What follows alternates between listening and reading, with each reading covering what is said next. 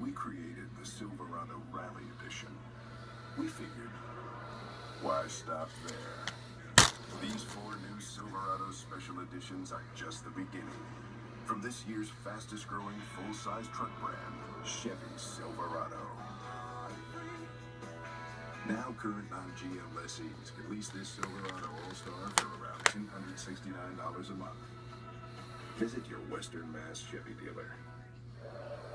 Back at Fenway Park, Swihart what looked like a prepared play down there at first base. Well, he started towards second base, as you can see, did Martin, that he was indecisive whether to go back feet first or, slide. And when in doubt, always slide back. That surprised him.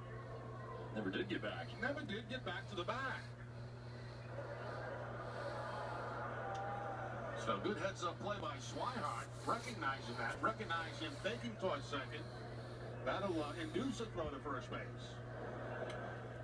And the Ramirez batting here. Mike Napoli, Daniel Nava expected in the inning. Red Sox trailing one to nothing as they come to bat here in the second.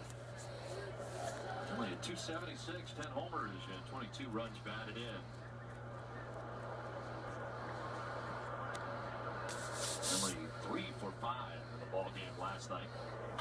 And drives one down the left field line towards the pole, and it is going to be leaping and making the catch to Lino DeShields. That ball got knocked down by the wind blowing from left to right, and Hanley Ramirez got nothing to show for it. First out here in the inning.